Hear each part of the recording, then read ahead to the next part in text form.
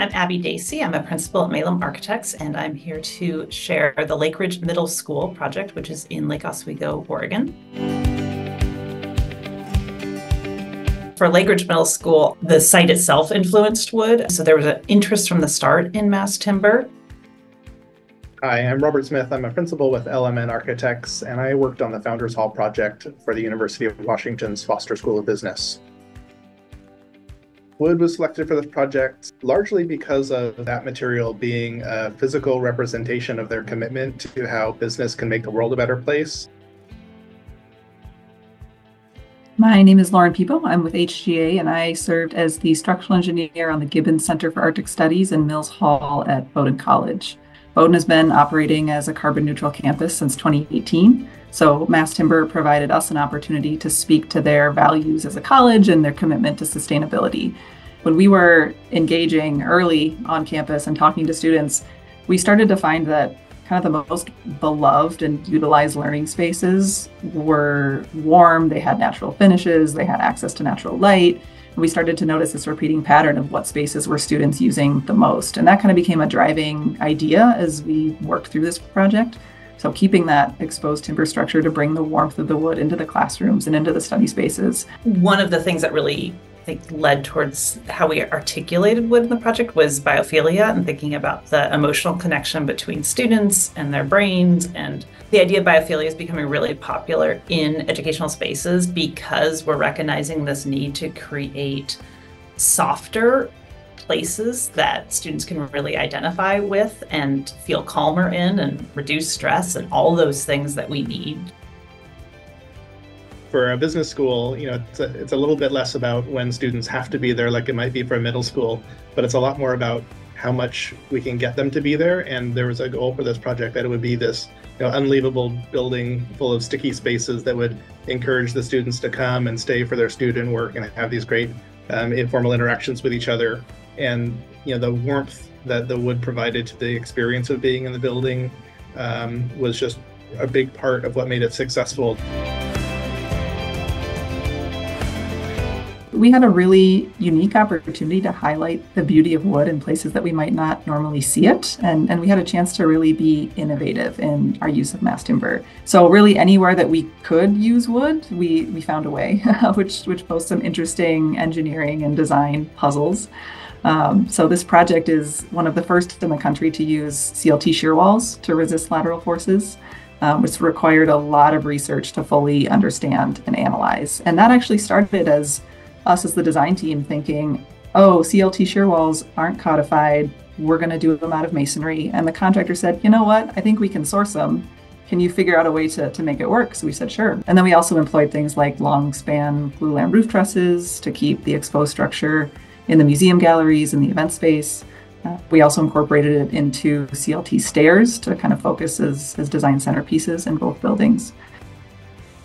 For Lakeridge, I think the most unique aspect of using wood was that we are in Oregon, we're a high seismic zone, and early into the project, the community actually really asked us to look at resiliency and making a building that could uh, be built to the level that it could be occupied post a seismic event. That meant that we were using seismic risk category four. So that is, you know, a level above what a typical school would be at risk level three. That led to some innovation. In particular, our gymnasiums are wood framed buildings. So to have a large gym and a small gym that are framed with LVL timbers going up, they're balloon framed, and then they have uh, plywood, just regular plywood being used as that shear component. There are a few places, you know, it's a 5B construction type. There are a few places where we had to have fire rating, and so we had to work with um, ICC Evaluation Service to get confirmation that we could basically add a layer of plywood inside of a rated wall assembly. We did have a challenge um, code-wise with our building. We had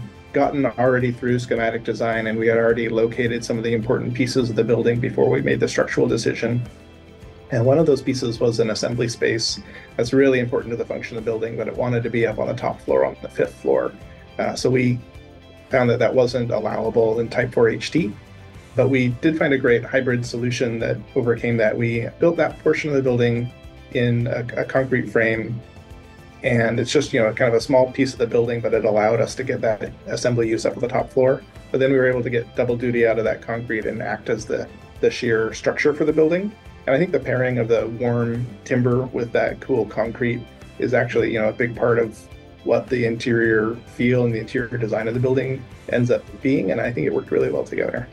One other actually interesting code solution we got to as well, uh, working with the city, was how to get an interconnected stair all the way up through those five stories of the building.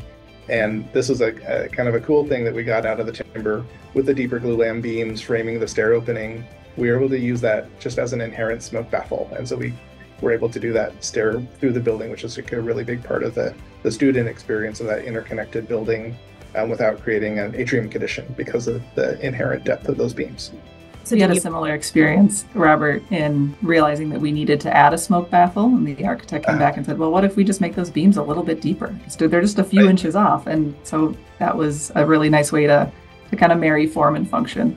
Being that this was one of the first commercially scaled mass timber buildings in the state of Maine, we were faced with the task of educating authorities about the fire safety of, of mass timber. We brought in other industry experts like Woodworks to, to help the state understand how mass timber fit within their fire code and, and what the fire test data showed.